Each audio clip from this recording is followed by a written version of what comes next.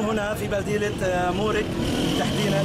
آه، خرجنا في مظاهرات ورغما عن عن عن أنف الأسد باقوم بإذن الله. وهذه الثورة مستمرة. نعم هذه الثورة مستمرة ولا نريد روسيا ولا إيران ولا هذه الشبيحة أن تدخل إلى منطقة إدلب بالأكمل. نعم نحن ثوار ماضون على هذا الثورة العظيمة في سوريا الحبيبة. وشكرا لكم. كان معكم